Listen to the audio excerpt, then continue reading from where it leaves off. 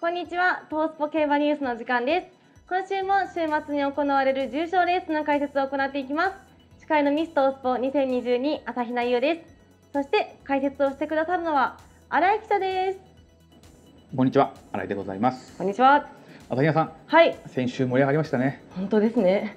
G1 かと思っちゃった。いや、本当にやっぱ ああいうレベルの馬たちが出てくるとね、まあ結果はまあいろいろあったんですけど、はい、やっぱりこうもう春近づいてきてるなって感じがしますよね。あったかかったしね。はい、本当に気候も良かったんでね、はい。いい競馬だったんですけど、はい、あ、新井さんいいですか？はい、本日、えー、月曜日2月13日、はい、明日は？14日。ということは？バレンタインデそうです。すごい雑な振りになっちゃー。いました。いやいやいや、僕は何もお届けまだねできできてないんですけど、いやいやいやもうあのぜひ新井さんに食べてほしいチョコをはい、見つけてきたんですよ。マジですか？はい。なのでこちらあのハッピーバレンタイン。あこれはあれですか？後で開けてみた方がいいですよね、これね。あもうあの開けてほしいです。あの、はいい、つでも開けてほしいです。ありがとうございます。もう食べてください。はい。まあそんなバレンタイン週はですね、はいえーフェブラリーステークス、はい。えっ、と G1 です。早速ですね。はい、もうあの2月でもうダートの G1 がスタートということなんで、はいまああの傾向からいくとやっぱりその翌週にサウジアラビアはい。で3月にまあドバイっていう、うんまあ大きいレースがちょっとここつ続いてるんで、なかなかそのね JRA のつわものがみんな来るっていう感じのタイプでは今ないんですけど、はいまあそれでもあの今年はすごくこう精鋭というか。はいこういろんなこううまくいけばみたいなこうなんだろういい意味でのその混戦はいになってるんであの今週はちょっとこう、まあ、馬券も競馬も、まあ、はい両方こう楽しめるんじゃないかなっていう感じがはい。します。うわー緊張してきたなんか。私は緊張してもって感じなんですけど。はいまああのね、今回はまあ出走馬16頭ということなんで、はい。えー、とまずは谷さんに過去10年の傾向からお願いしたいと思います。はい。フェブラリーステークス過去10年の傾向です。丸1、軸は先行馬。過去10年を客室別に見ると、逃げ馬は1勝止まり、先行5勝、差し追い込み4勝となっており、勝率ベースでは先行勢が断然だ。ただ、差し追い込み組は連帯率、副勝率では先行組と遜色ない数字を残している。また、差して馬券内に入った馬の人気は平均5.1番人気。伏兵差し馬を2、3着固定で買うのも良さそうだ。丸2、距離短縮組が優勢。過去10年、前走から距離延長組の3勝に対して、距離短縮組が7勝。勝率、連帯率、副勝率ともに後者が大きく上回っており、馬券的には距離短縮組の方が信頼度は高い。ちなみに距離延長組の3勝はいずれもネギシステークス優勝からの参戦となっている。丸3、大型馬が有利？過去、丸3、大型馬が有利。スピードだけでなくパワーも求められるダート戦。過去10年の勝ち馬のうち8頭が500キロ以上。さらにそのうち7頭は520キロオーバーだった。最軽量18年覇者、ノンコの夢の450キロが異彩を放つ巨漢馬揃い。馬体重も一つの予想材料になるかも。続きまして、新井さんの注目馬を紹介していく予定なのですが、はい、本日、前頭診断ということで、G1 まで G1 ということなんで、はい。えー、16頭、えーまあ、この今の出走段階ではあるんですけども、はい、16頭行ってみたいと思います。わあ、新井さんが頑張ります。まず1頭目はアドマイヤルプス。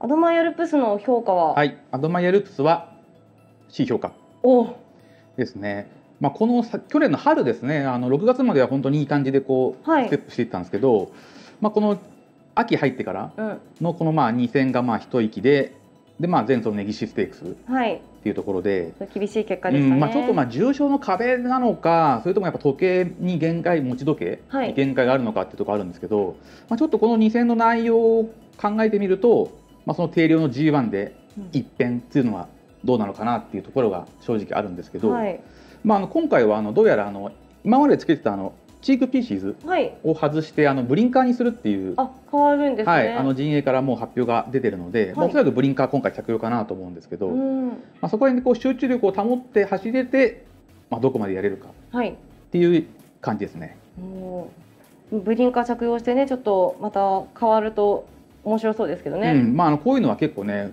う効く馬と効かない馬って結構こう分かれるんですけど、はい。ちょっとそこら辺でうまくこうはまるようだったらっていう期待はまあちょっとあるかなっていう感じはしますね。はい。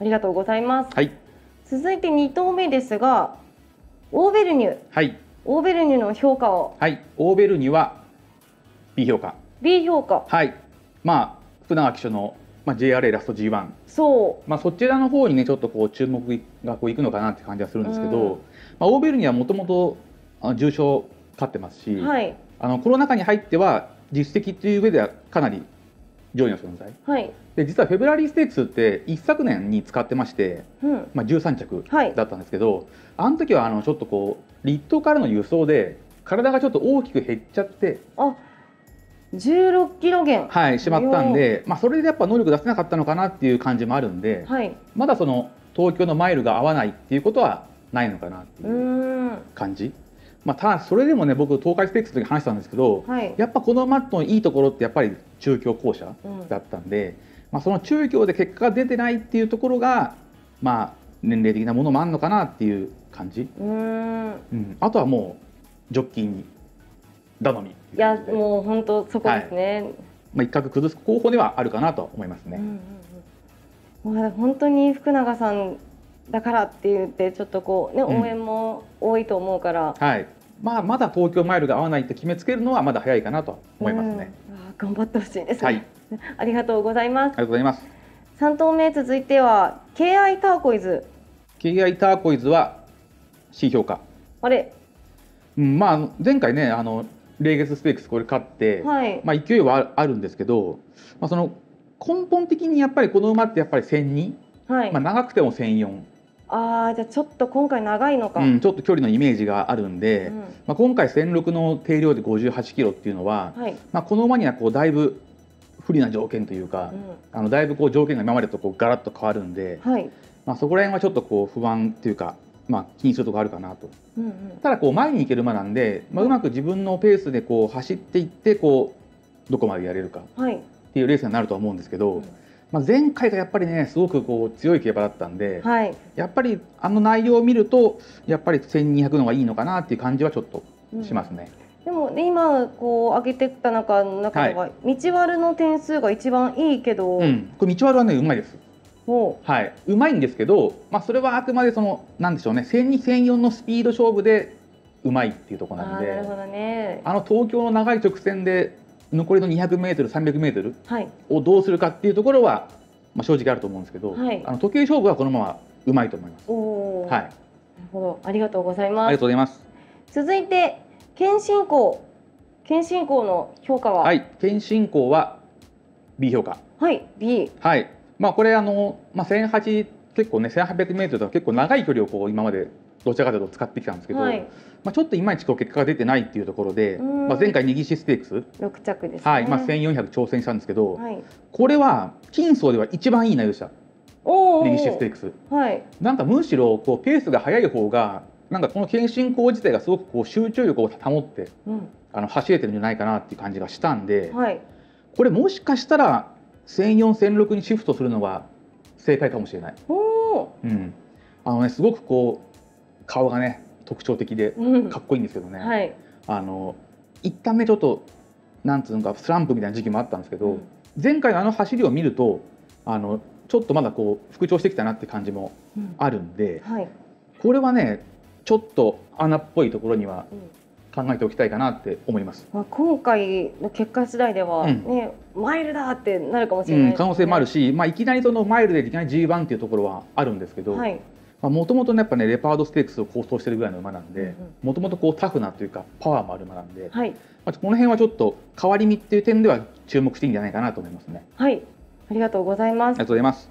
続いて外国馬ですね、はい、シャールズ・スパイト、はい。シャールズ・スパイトの評価は？これはですね見たことないんですけどえーい。A 評価 これ朝比奈さん注目馬ということなんではい。ちょっとこの馬紹介してください。はい。シャールズ・スパイトですね前走ブリーダーズカップマイルはい。2着、うん。こちら結構あの人気がめちゃめちゃ薄い中での2着っていう、あのもうハイパー激走ぶり。はい。あの過去のねレース映像とかもねあの全部はごめんなさい見れてはいないんですけどでもやっぱその実力うん。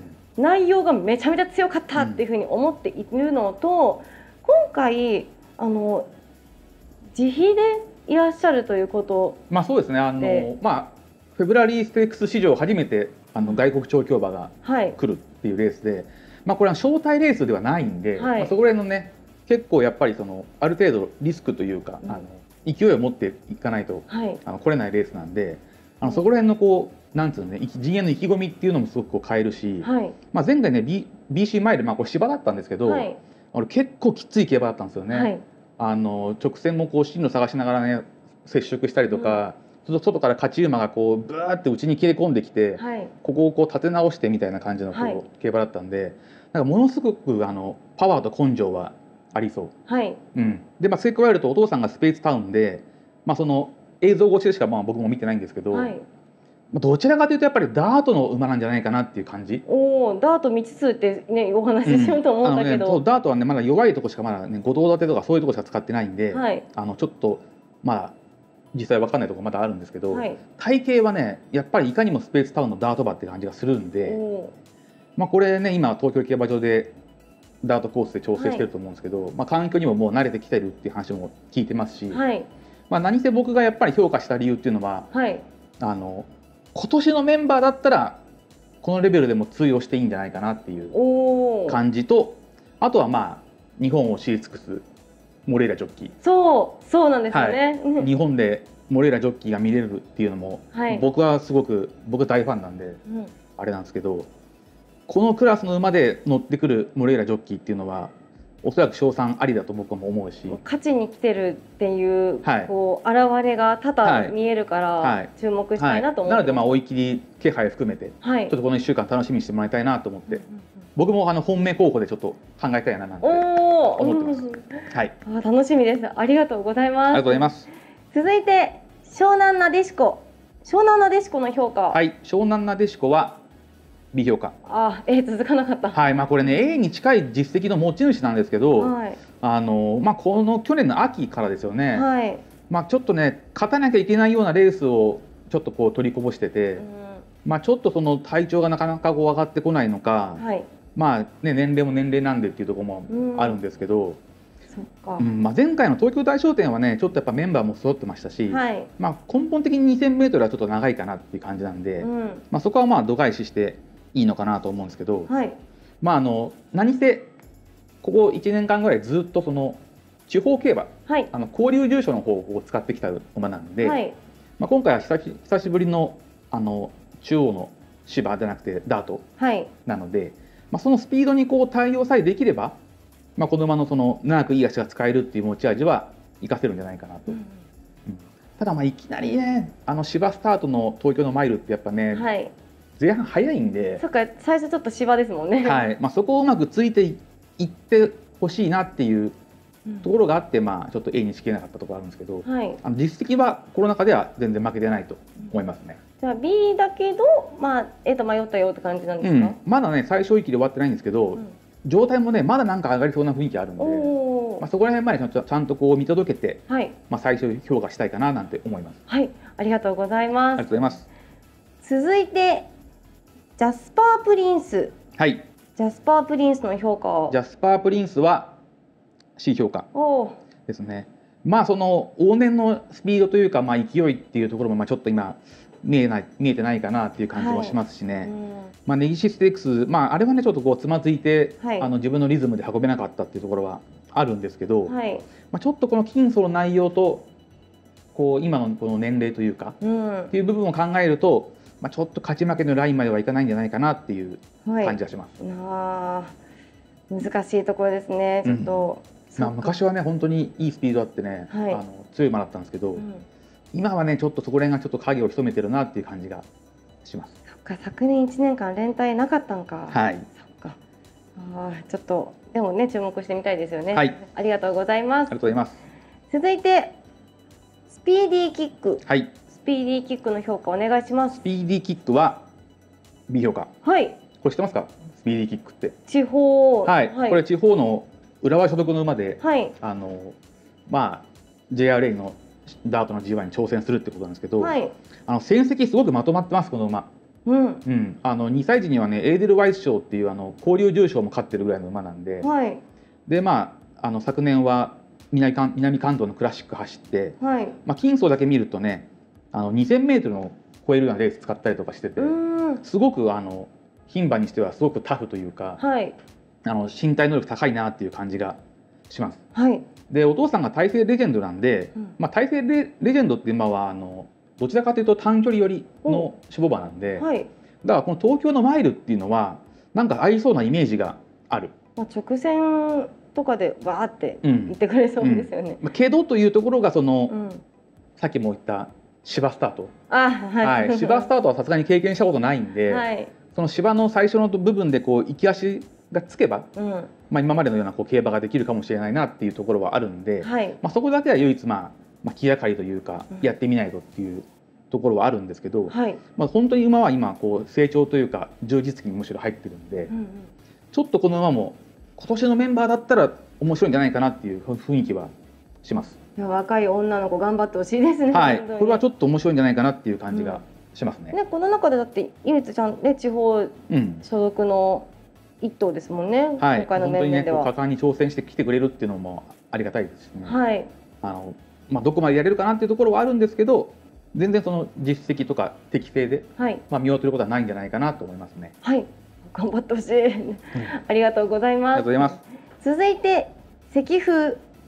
はい、石風は僕好きな馬なんですけど、おお、厳しめ。はい、もうこれね海外でも構想してるような馬で、はい。あの能力がすごく高いんですこの馬。おあのまあ重賞はもちろん G1 でもぐらいな感じの馬なんですけど、うん。まあ前走がね。何せねあの気分屋というかねう、ん。わがままというかね、あの真面目に走ってくれないんですよ。まあ個性的な感じなんですかね。うんスバルステークスはねあのブリンカーつけてなんとか形にはしたんですけど、ネギシステークスが全くその効果がなしみたいな、うん。うんもうダラダラ走ってるし直線も反応しないしハミも取らないしみたいな、うん。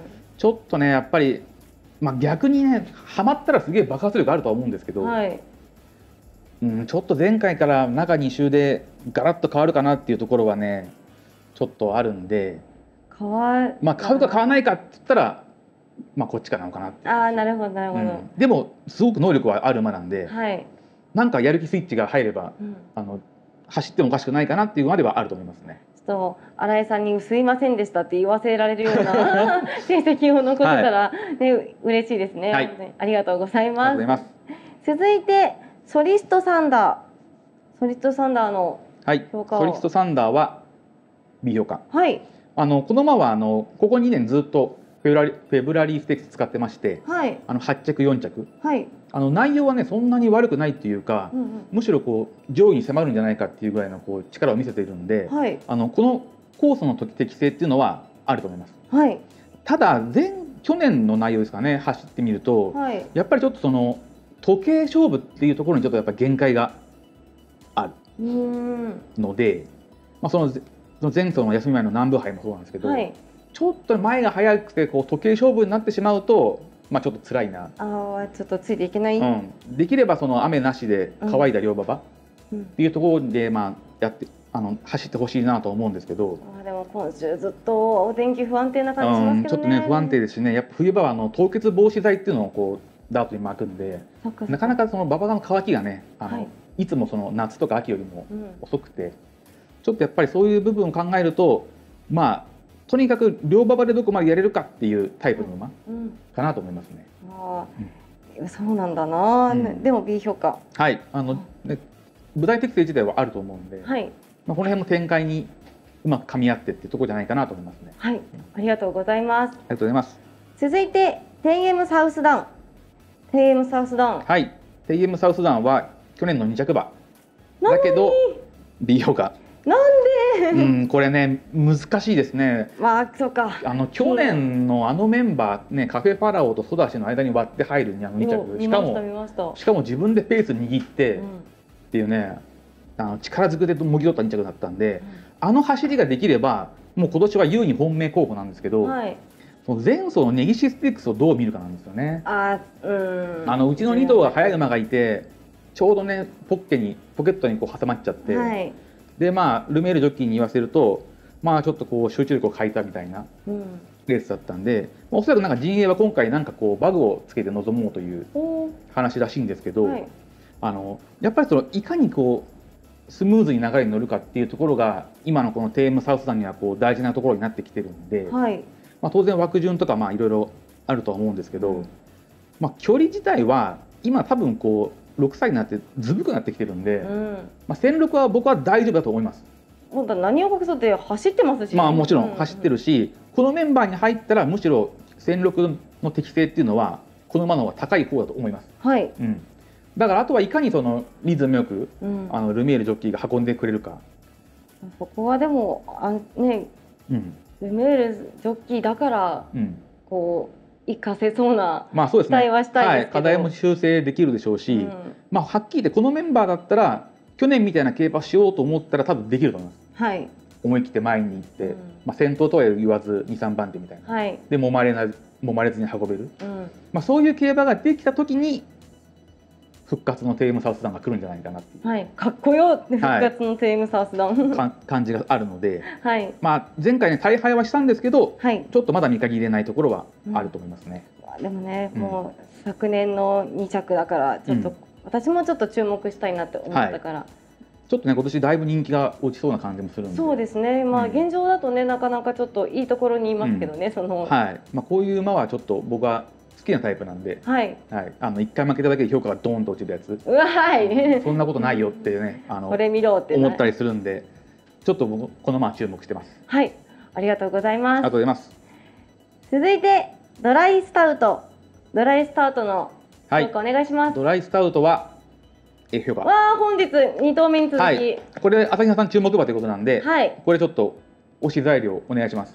もうもろもろ書いてきたんですけど、はい。あのまあ今回ねあの中央の重賞が初参加はい。ということなんですけど、でも中京だと1200メートルの新馬戦うん。はでも内目かな、うん。内目から結構スムーズな競馬ができてたのもあったし、まあ、先行してね勝利してたし1600に距離伸ばしての全日本2歳優春うん。もすごかったですね。川崎すごかったですね。あれね忘れられないですね。その直後にあの個人的なんですけどあのこうゼッケンをすごい間近で見させていただく機会があったんですよ。はいはいはい。あの一口馬主っていう取材に行った時に、はいドライスタートの、ね、ゼッケンと、うんうんあと勝負服と、うんあとレイをね、うんあの間近でこの距離で見させてもらったことがあって。それは貴重な体験ですね。もう貴重なもうもうその馬がうん G1 に出ますよってことで、もう応援したい気持ちと実力ももちろんうんあるので、まあ、進路はねその前走のスバルステークス2着だったけどちゃんと進路がうん。確保できてたらうん。勝ててたかもしれないなっていうレースだったからもう今回も安定した走りを見せてくれたらいけるって思ってます。うん、まあほぼほぼ朝比奈さんのおっしゃる通りで、その前走の2着をどう評価するかっていうところなんですけど、はい。まあ確かにその進路がなかったとかっていうのはあるんですけど、まうん。あ何せその勝ち馬とは2キロ差、はい、58キロを背負ってあの競馬なんで、はい、あれまあ2着には負けてはしまったんですけど、何せフェブラリーステークスって定量の58キロなんで、はい、58キロ背負ってもああいう競馬ができたっていうところがまずでかい。はい、あのパフォーマンスが落ちるっていうことはまずこうないことが分かったんで、はい、っていうのとあのこの馬はやっぱりその東京校舎はい、やっぱ左回り合いますし、うん。まだね馬はこうまあねお父さん新日産ミニスターで帝王ケインズとか、はい。まあ本当に名馬がいるボバなんですけどまだその成長っていう意味でいくと当然休養もあったんで、はい、まだ成長していく段階ではあるんですけど、まあ、それでも今年だったらやれちゃいそうな感じがすごくしますね。今現状ね、結構人気も上位だと思うんで、まあ、これはねやっぱり下月ステークスの復帰戦の内容もすごかったし、はい、まあ、その小回りだった兵庫のチャンピオンシップさえ除けば大崩れもしてませんし、はい、うん。まあ、本当に申請はどれと言われたら僕は最後の馬よりもこの馬かなって感じもするんで、うまあ、この馬の勢いというかあのある程度やっぱ条件を揃えてこのレースに挑めるはい、馬なんでうん。これは僕は大注目でいいと思いますね私も本当に注目したいです。またはいレイを見たいです。うん、これはいいと思いますね。はい、ありがとうございます。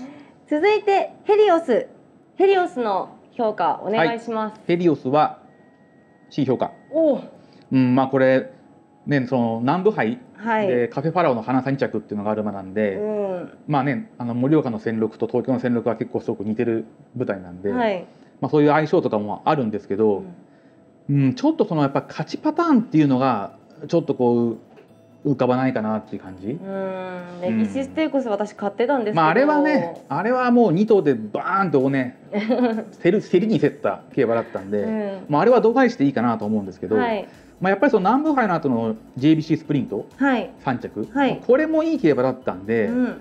やっぱりその1002か1006かって言われたら、まあ、やっぱり1002寄りの方がいいのかなっていう馬うん。なのかなっていうのと、まあこれあのネギシスペークスの前からあの西園厩舎に転休して、はい、まあ、転休2戦目っていうことなんで、う。んまあちょっとねそのネギシスペークスに関して言うならちょっとまあ手探りというかはい、部分もあったんで、まあ、そこの上積みっていうのは期待していいのかなと思うんですけど、はい、まあ、ちょっとこう力勝負で勝てるかっていうところはまあちょっと気になるかなっていううん。ところは正直あるので、はい、まあ、ちょっと評価は低めなんですけども、はい、まああのね前回みたいなああいうことなくてうん。こうこのままやっぱりスムーズにこううん。スピードを乗せて運べるような競馬ができるのであれば、まあ、もうちょっとやりでもいいはずなんで、はい。まあ、そこら辺の巻き返す余地はまだあるのかなっていう感じがします。じゃあまたこの一週間でどうまたねこううん調整してくるかっていうのも、うんまあ前回はもうあれはもう参考外ですね。あんだけ飛ばしたらそれはちょっと無理です。でもだってわかんもうだって先頭2頭うん追うともう分かんなかったですもんね。いや本当ですあのまあもうどっちも譲らないみたいな感じだったんで、はいまあ、今回はそういうことないと思うんで、はいまあ、そこら辺でそこら辺と2戦目の上積みっていうところにちょっと期待したいかなと思いますね。はい。まあねあの先週ドーデュース乗った武豊ジョッキーだから、うん、ここもねっていうね いうふう期待は持ちたくはなるんですけど、はい。まあどうでしょうかって感じですね。そこを踏まえて楽しみにしてます。はいありがとうございます。続いて名称ハリオ名称ハリオの評価お願いします。名称ハリオはえ評価。はいこれですねあの、まあ、さっきあの傾向にもあったんですけど、はいあのやっぱり 1600m のダートってうん。そんなに数はなくて、はい。要するに1400、1200から使ってくる馬とやっぱ 2000m、1800m を使ってる馬が使ってくるっていう、はい。まあ、2つのパターンがあるんですけど、うん。今年のメンバー見るとやっぱりその1002、1004を使って1006に挑む馬の方が圧倒的に数が多くて、うん。でやっぱり当然その距離の壁というか、はい。距離大丈夫かみたいなところあると思うんですけど、はい。逆にこういう名称ハリオみたいにこう1008、2000を使ってきてる馬がマイルに来ればはい。当然距離が短いとかまあ当然あるんですけど、むしろ忙しい競馬にしてうん。こうパワーとかスタミナを生かすような競馬がになればはい。こういうタイプでも十分活躍できる力活躍できる力士があるんですよ。おでこの馬だけやっぱりその1008、2000寄りのタイプなんでーはい。この馬がちょっとこうレースを動かしてくれたらうん。面白いんじゃないかなっていううん。感じ。しかも道悪校舎って、うん道あるこの馬ねうまいうまいですね。うん。まあ、マイルはね本当に一昨年ぐらいかなあのだいぶ使ってはいないんですけど、はい。あの今だいぶその、ね、去年は帝王賞勝ったりとか、はい。まあ、力つけてるとこ見せてくれてますんで、はい、このこの手の馬のマイルの参戦っていうのはうん。ちょっと面白いっていうか、はい。あの好勝負できるんじゃないかなって思うんではい。これはねこのなんかこう別の路線っていうところの意味ではい。あのこれは大注目だと思いますね。もうええ評価はい、楽しみにしてます、はい、ありありがとうございます。がとうございます。続いてはレッドルゼル。はい、レッドルゼルはこれもまあえ評価。お続いて。うん、まあこの馬もあの過去2年フェブラリーステークス出走してまして、はい。まあ4着6着。はい。でまあ同じその JBC からフェブラリーっていう、うん。去年と全く同じローテなんですけど、はい。まあ、この馬去年がちょうどその人気を背負って、まそうですね一番人気あはい、でした6もんね。着っていうところだったんで、まあ、この馬はどうしても距離っていうところがやっぱり課題にはなるかなっていう。う、ん。うん。まあ、これはもうね去年から戦前から川田ジョッキーもあの、まあ、戦力は長いと思いますってねあのコメントがこう出てたぐらいだったんで、うん。まあやっぱりその時計が速くなっちゃうとどうしても最後のスタミナっていうところが出てきちゃうんで、まあ、そこら辺はちょっとこう展開の流れっていうとがかなり大事になってくるんですけど、はい。何せねあのドバイのゴールデンシャヒン。はい。ドバイの戦利の G1 でも2着っていうのがあるような馬な馬なんで、実績バリバリですね。はい、底力とか実績はね文句はないんで。はい、でまあ、去年に比べたら、まあ、こうしつこいんですけど今年の方がちょっとメンバー落ちるかなって感じなんで、うん。まあ、そこら辺の残りの 200m っていうのをうまくカバーしてくれるんじゃないかなっていう期待も込めての、うんまあ、A 評価なんですけどはいあの馬は全然その1年経ってあの能力が落ちてるみたいなことはないんで、はい。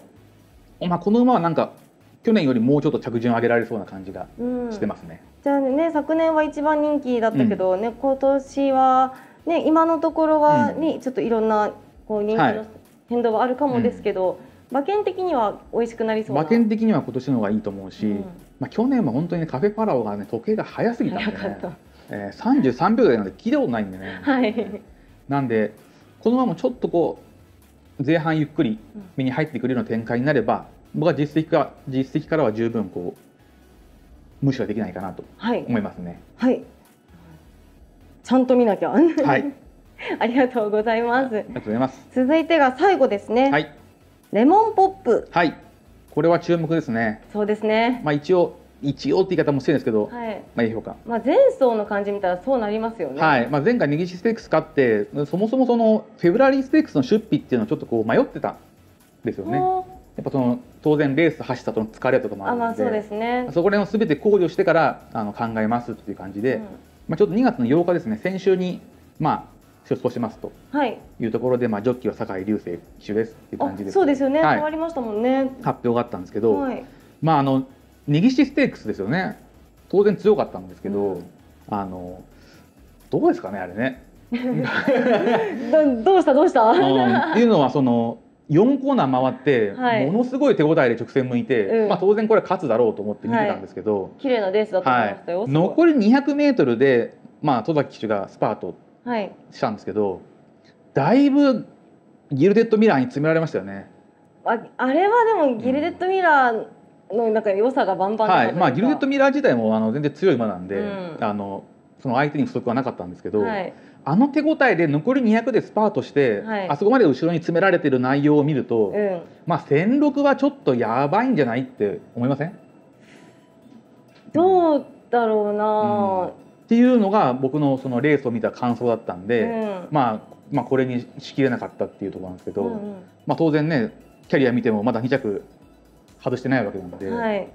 まあ、これから買えばいいんじゃないのっていう話にはなるとは思うんですけど、うんうんあのネギシステークスの最後の 200m っていうのがちょっと僕には引っかかる、もうでも強い強いってすごい言われてましたけどね。まあそうなんですけどだいぶね後ろ詰まってたし戸崎騎手も結構しっかりと追ってたまので、あそうですね。うん明らかにやっぱラップ見てもスピードっていうかラップハロンラップやっぱ落ちてたんで、うん。まあ、当然この辺もそのね、まあ、1006とはいえもうちょっとゆ遅い流れだったらカバーできるでしょうし、んっていうのもあるんですけど、うんまあおそらくまあ一番人気はほぼ確実かなっていう状況下で、まあそうですうねん。みんなそのレモンポップを倒しに来た時にはい。どうかっていうところが正直あるんで、うん。まあちょっと、まあ、これにししきれなかったっていう感じなんうですけど、ん、ああなるほどなるほど。おうん。っていうあこれにしきこれこれに A ねですね。これにしきれなかったっていうところはあるんですけど。ああじゃあもう本当に僅差の A というか。うん。あれはな私なちょっとネギシステークスはあの、ギルデットミラーを本命にしてたから、はい。うわ悔しいという気持ちうんまあがあったんですけど、ねギルデッドミラーはねちょっとここ出走できなくてね本当に残念だったんですけど、うんでもその分ねこう、そのギルデッドミラーに勝ったからうんここもっていうう気持ちはね込めたいですよね。うんっていうところにもまあ期待はしたいんですけど、はい。うん、1006どうかなっていうのは正直僕はあると思います。おおなんか自信を持ったね A 評価だと思ったけど。はい、まあ、そこら辺はあの皆さんにちょっとんいろいろ考えてもらえたらいいかななんてはい。思って紹介してました。なるほど。うわあでも難しいな。でもやっぱ注目してね、うん。上げてる2頭には特に頑張ってもらいたいですけど。赤島さん、はい。まあ、2頭紹介してもらったんですけど、はい。ちょっとこう馬券的に狙いたい馬って、まあ、当然いるいるとは思うんですけど、はい。穴っぽいところどうですかね？穴っぽいとこ、まあでも穴はない。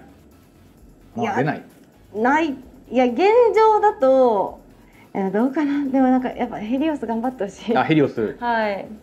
ヘリオスね。ううん。んなんか買う気がしてます。うん。まあこれねこう一週間ありますから考えたいですけど、意外とね周りがみんな距離を意識して、うん。こう早めにこう前半飛ばさないで、うん。ヘリオスが、まあ、先頭2番手ぐらいでスーッとこう流れに乗った時がヘリオスの出番かなってう感ん。うん。そういうレースをしてほしい。そういう形になった時は残せるかもしれないですね。うん。うん。そうですね。だってドライスタウトはね今多分上位人気うん。で、ねきっとこのまま行くだろうし、シャールズ・スパイトも、まあ、今はそんなちょっとこうすごい高いってわけじゃないですけど、まあ、初めてねあのいらっしゃるっていうのもあるからと思うけどなんかもうちょっと当日人気上がりそうな気もするから、まあ、この辺はやっぱりね、まあ、まだこう見てないというか、うん。ね、まだその陣営からいろんなこうコメントも出てないんで、まはい、あ、そこら辺はこれからこう皆さんでこう判断してもらえたらいいかいいのかなって感じはしますね。でも穴に穴っていうカテゴリーにヘリオスって言ってしまう自分ちょっとなんかいつか怒られそうで怖いです 本当に、まあね G1 で2着してる馬ですからね。うんはい何言ってんだって言われそうですけど 今のね感じだとっていうことですかねはい。え新井さんは？僕ですか？はいうん僕はまあ、まあ、気持ちはドライスタートかなって感じ。おおうん、まあでもこれ悩むでしょうねこれね。これ枠順もちょっと見たい。そうですね、うん。そうですね。まあでもドライスタートはなんかどこでも大丈夫そう。まあどこでも大丈夫だと思うんですけど、そのやっぱ前に行く馬がどんな馬がどの枠に入ってるかっていうのは結構大事なんで、あやっぱ芝は外の方が芝の部分長く走れるんで、あはいそうですね。まあ、基本的には外の方がススピードに乗せやすいっていうのがあるんで、まあ、そこら辺はそこら辺までちょっと加味しないとうんちょっといろいろ着順とか入れ替わりそうな感じがするんで、はい、うわー外引いてほしい、と思いますね。はい。わあ、ちょっと前頭診断。とても個人的に参考になりすぎてて。ありがとうございます。ありがとうございます。ああ、どう、どうなるんですかね。ということで、はい、えー、前頭診断ありがとうございましたあ。りがとうございます。フェブラリーステークスは2月19日東京競馬場11レースで開催されます。今週もご視聴ありがとうございました。また来週